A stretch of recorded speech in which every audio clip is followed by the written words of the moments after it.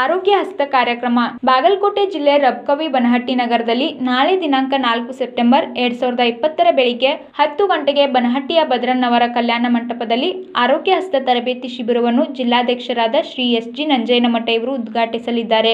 ದಯಮಾಡಿ ಪಕ್ಷದ ಎಲ್ಲ ಮುಖಂಡರು, ಆರೋಗ್ಯ ಕಾರ್ಯಕರ್ತರು ಕಾರ್ಯಕ್ರಮಕ್ಕೆ ಆಗಮಿಸಿ ಯಶಸ್ವಿಗೊಳಿಸಲು ಕಾಂಗ್ರೆಸ್ಸಿನ ಕಾರ್ಯಕರ್ತರು ಮುಖಂಡರು ವಿನಂತಿಸಿಕೊಂಡಿದ್ದಾರೆ. ಉಮಾಶ್ರೀ ಮಾಜಿ ಸಚಿವರು ಹಾಗೂ ಜನಪ್ರಿಯ ಮಾಜಿ ಶಾಸಕರು ತೇರ್ದಾಳ್ ಮತಕ್ಷೇತ್ರ. ಮಲ್ಲಪ್ಪ ಸಿಂಗಾಡಿ, ಲಕ್ಷ್ಮಣ್ ದೇಸಾರಟ್ಟಿ, ಬ್ಲಾಕ್ ಕಾಂಗ್ರೆಸ್ ಅಧ್ಯಕ್ಷರುಗಳು ತೇರ್ದಾಳ ವಿಧಾನಸಭಾ ಮತಕ್ಷೇತ್ರ.